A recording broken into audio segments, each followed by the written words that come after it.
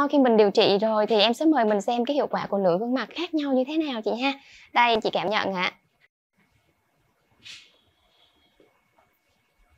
Nó khác hẳn luôn em. Dạ. Ôi. Da nó xanh hơn hả chị hả da nó xanh chắc hơn mà cái nửa mặt bên này của chị nó sáng. Nhìn nó nó sáng. nâng lên ha chị ha. Đúng rồi nhìn nó nâng lên. Dạ. nãy giờ mình tập trung mình đánh rất là nhiều vào cái đường vệt hàm này cho nó nâng nó kéo cái vùng da vùng này lên này và mình tập trung cũng đánh cái má mình kéo rất nhiều vùng này cho nó căng vùng da này lên. Và cũng đã đi cái tập trung nhiều cái vùng quanh mắt của chị để cho nó chống nhăn chống nhăn vùng mắt. Và mình có đi nâng cái cung mài lên cho nó tươi nó đỡ bị sụt cung mài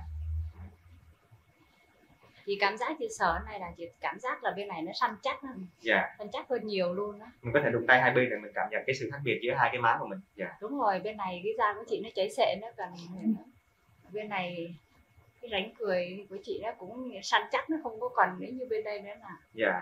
Cảm nhận rõ rệt luôn đó dạ. Cái này mới thì mình thấy sẽ hiệu quả chỉ 10 15 phần trăm so với hiệu quả nó thôi. Là mình à, cần cái thời gian chừng khoảng 3 cho tới 6 tháng mỗi ngày cái collagen trong da mình nó sẽ tăng sinh lên một chút. Mỗi ngày tăng sinh lên một chút thì sau từ 3 đến 6 tháng mình thấy cái da của mình rất là săn chắc nó sẽ được nâng cái cơ lên và da mình săn chắc nó kéo nó căng cái vùng da của mình lên hai cái cái vùng má Dạ. mừng quá đúng không chị? À, dạ chị ơi trong cái giai đoạn mà làm á thì chị có thấy khó chịu không? Không trong à, cái giai đoạn bác sĩ làm với chị Dạ. rất rất là dễ chịu thoải mái đó dạ. Dạ không có gì cả chắc là chị đang nôn lắm để mình có thể làm tiếp nửa gương mặt còn lại chị ha. Đúng rồi chị để giống được để giống được như là bà chủ giống như chị chia sẻ vậy đó. Chị nói là chị bà chủ mà riết chị cảm thấy là chị xấu hơn nhân viên của chị chị không chịu cho nên là chị phải đi làm đẹp để chị được thăng giống như bà chủ. Thì bây giờ em sẽ mời chị mình nằm xuống để mình bác sĩ làm tiếp cái công nghệ này cho mình để mình thực sự đẹp chị nha. Dạ, em mời chị nằm nhé dạ vâng. Đang nôn nóng. Dạ vâng nha. dạ em cảm ơn chị cả nhà có thấy tuyệt vời không à đó đúng là một sự thay đổi khác biệt luôn á cả nhà.